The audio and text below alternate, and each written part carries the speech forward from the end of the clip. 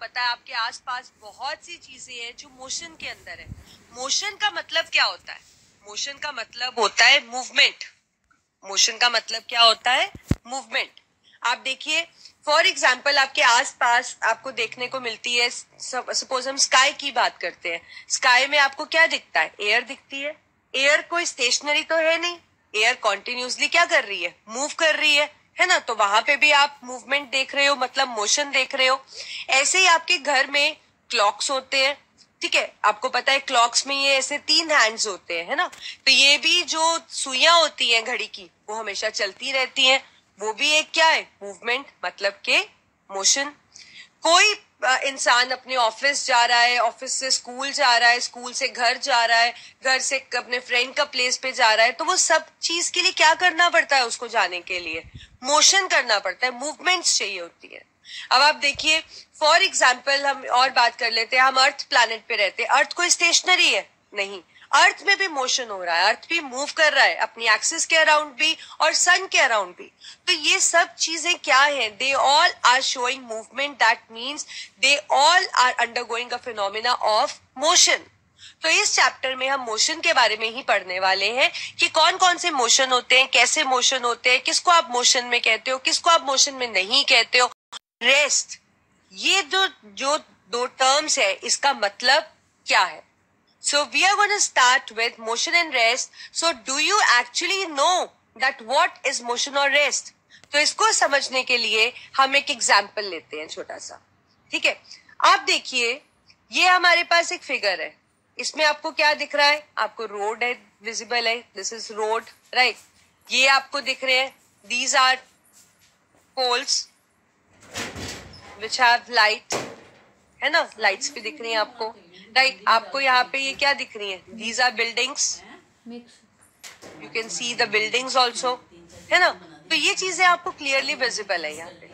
तो आप बताइए, ये जो रोड है राइट क्या ये रोड मोशन के अंदर है?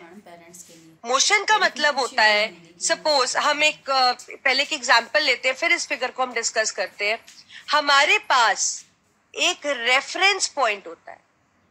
सबसे पहले आप जानिए कि हमारे पास रेफरेंस पॉइंट होता है। तो ये रेफरेंस पॉइंट क्या पॉइंट होता है? रेफरेंस पॉइंट वो होता है जो कि फिक्स्ड होता है। रेफरेंस पॉइंट कौन सा होता है? जो कि फिक्स्ड होता है। इसको आप स्टेशनरी पॉइंट भी कह सकते हैं। हम इसको स्टेशनरी पॉइंट भी बुला सकते हैं। तो स्टेशनरी पॉइंट या रेफरेंस पॉइंट का मतलब एक फिक्स पॉइंट जो अपनी जगह नहीं बदलता। जो चीज़ सेम रहती राइट अब जैसे कि ये पोल है इस फिगर में, ये पोल एक रेफरेंस पॉइंट हो सकता है, क्योंकि ये अपनी जगह नहीं बदलता है। ये जहाँ पे एक बार है, ये वहीं पे रहने वाला है।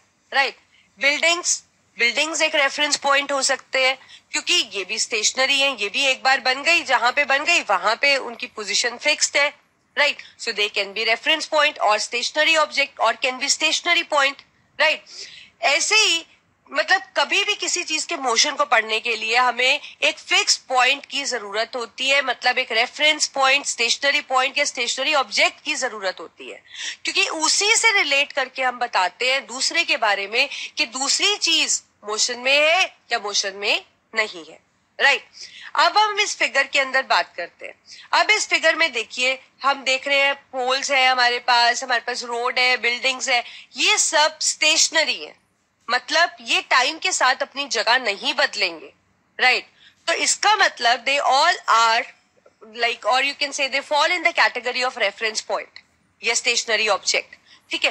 तो जो चीज़ें अपनी जगह नहीं बदलती हैं, उन चीज़ों को हम कहते हैं कि वो चीज़ें किस पे है? दे आर इन रेस्ट लेकिन अगर सपोज़ जैसे कि इस फिगर में आप देख पा रहे हो, हमारे पास कार है, ठीक है? हम यहाँ पे एक कार बना लेते हैं बॉक्स में। अब लेट से एक कार ये यहाँ पे खड़ी है, ठीक है? तो अगर ये कार यहीं पे खड़ी रहती है, एक घंटे के लिए, दो घंटे के लिए, तीन घंटे के लिए खड़ी हुई है, ठीक है? चल नहीं रही है। और ये हो गया सपोज़ पोल को हम रेफरेंस पॉइंट ले लेते हैं, ठीक है?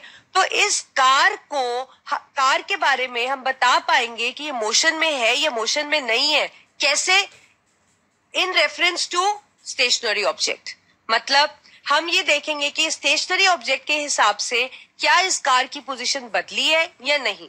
क्योंकि जो स्टेशनरी ऑब्जेक्ट है, उसकी जगह तो नहीं बदल सकती है। लेकिन ये जो ऑब्जेक्ट है, ये मूवेबल ऑब्जेक्ट है, इसके अंदर मोशन हो सकता है, ये अपनी जगह बदल सकती है। अब डिपेंडिंग अपॉन की जगह बदली है या नहीं, हम बता सकते हैं कि ये जो कार है, ये मोशन में है या मोशन में नहीं है। ठीक है? अब सपोज़ हम ये देखते हैं कि ये स्टेशनरी ऑब्जेक्ट है